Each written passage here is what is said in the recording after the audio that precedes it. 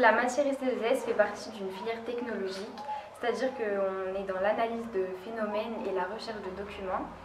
Euh, la filière STS nous donne des priorités dans les écoles de santé et de, et de social. Donc on fait des cours de méthodologie sur les ordinateurs, donc on peut faire des nuages de mots, des infographies, des cartographies, des CV qui peuvent nous servir pour plus tard.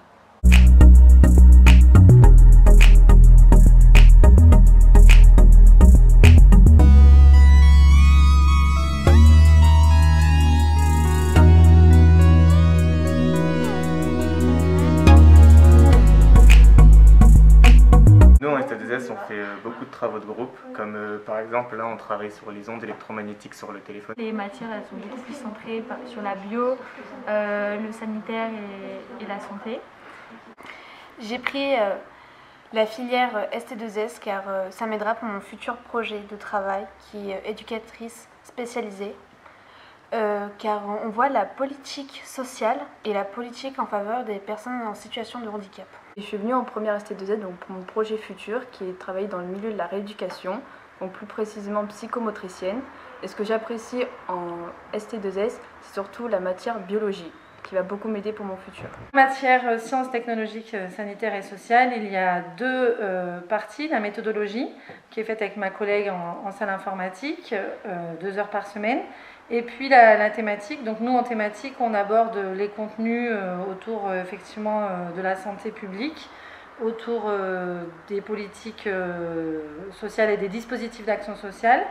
Euh, donc voilà, on a un volume horaire conséquent qui nous permet de pouvoir travailler tant en grand groupe qu'en petit groupe.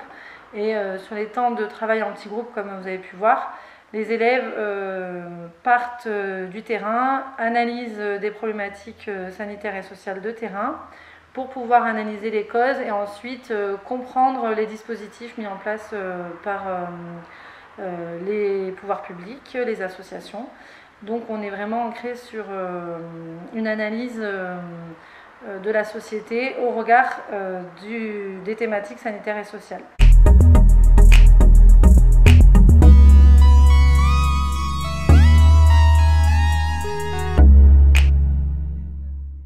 Du coup, cette année en biologie, on se base vachement sur des contextes et, et on fait des expériences pour apprendre.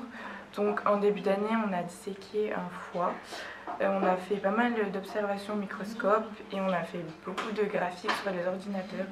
Donc voilà, euh, avec ça, on a pu apprendre euh, ben, comment le corps il fonctionne.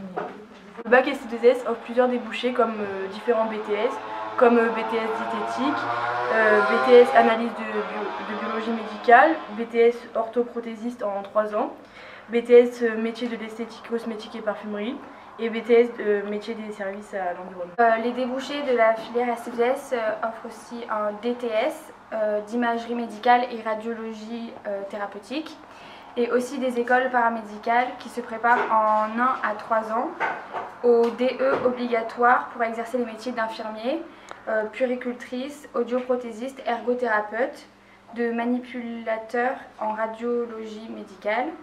Suite à un BTS, les étudiants peuvent également poursuivre leurs études par euh, différentes licences. Ils ont la possibilité de rentrer directement en deuxième année, ce qui leur permet ensuite d'intégrer un cycle universitaire, soit avec des licences professionnelles, soit avec euh, des licences classiques.